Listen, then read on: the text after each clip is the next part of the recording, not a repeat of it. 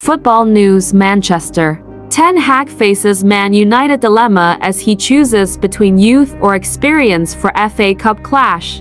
Time to see the truth.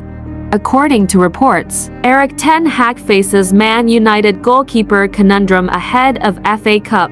Manchester United will be without Andre Onana when they travel to Newport County on Sunday, and Erik Ten Hag must decide whether to plump for youth or experience. United must face the League Two side without the services of first-choice keeper Andre Onana, who has started all 30 of their games this season. Onana is away on international duty with Cameroon at the African Cup of Nations, although he was dropped for their crucial 3-to group stage win over Gambia on Tuesday.